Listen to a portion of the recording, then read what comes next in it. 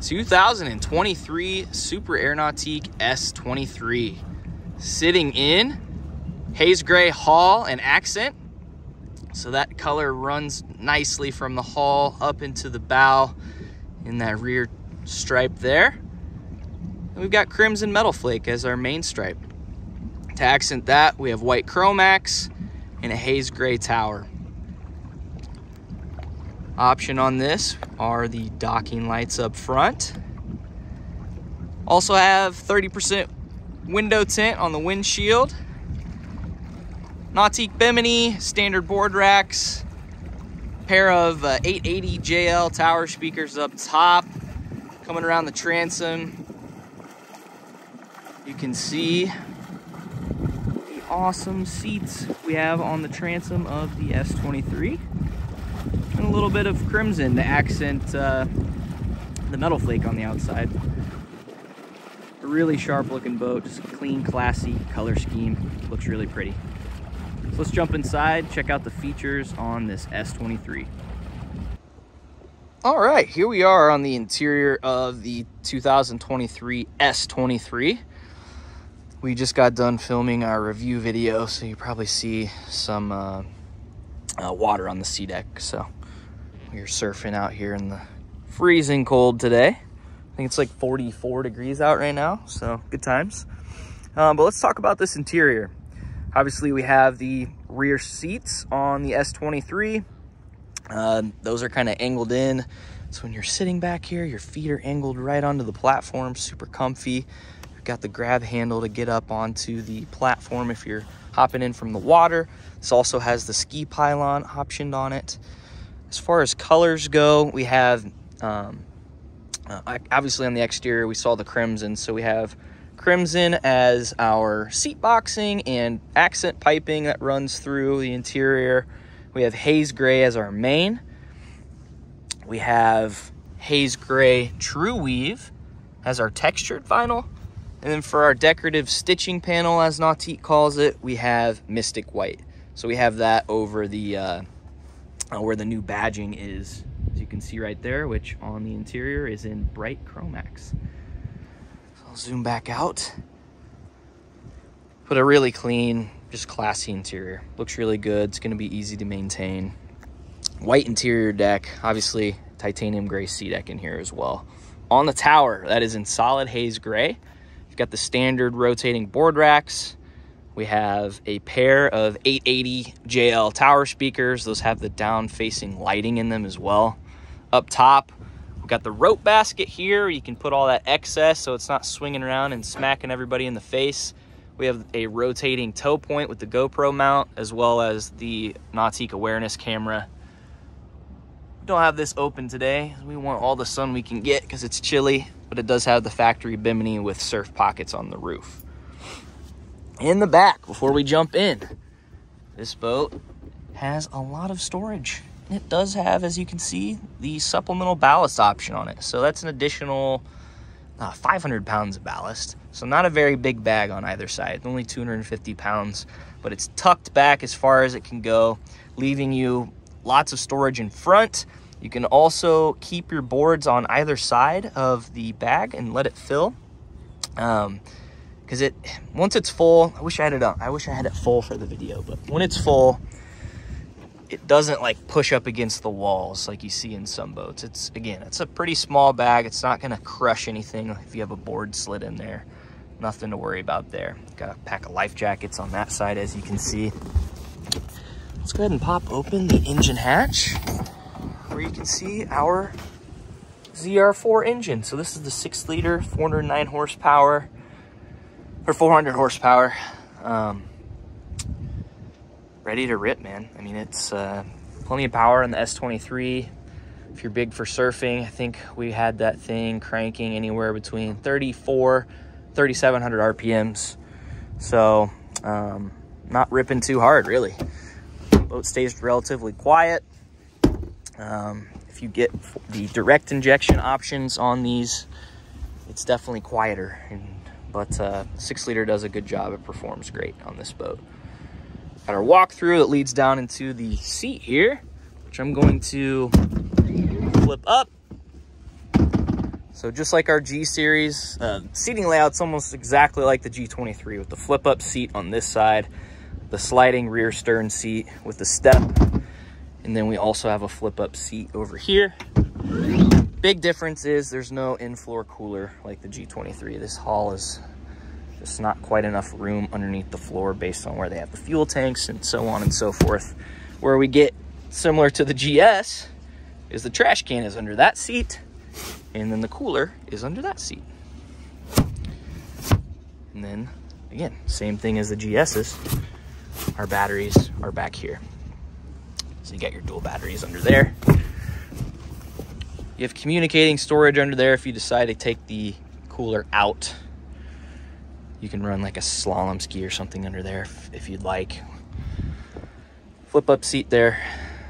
Also option on this boat is the enhanced courtesy lighting package. So you can see we've got the blue lights on here now. It also gives you a backlit Nautique logo on the badge on the walkthrough, as well as the back seat or the seat back of the driver's seat rather. Really see it very well during the day. Uh, honestly, the the cup holder lights don't even show up that well in the daytime. But that's not what they're for. Phone holders on the sides, looks really nice in terms of like our color scheme. You can see that black stitching on there. There's these different stitching panels where they do this cool custom stitching as well. Let's flip open the love seat where we've got a massive storage compartment.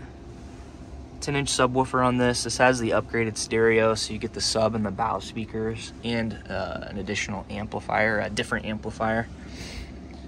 But you got room for your gear in there. Our glove box, if we open this up, has two wireless phone charging pads in here. You can set your phones on. Got a heated love seat and a heated driver's seat. The toggle switch for that is right here.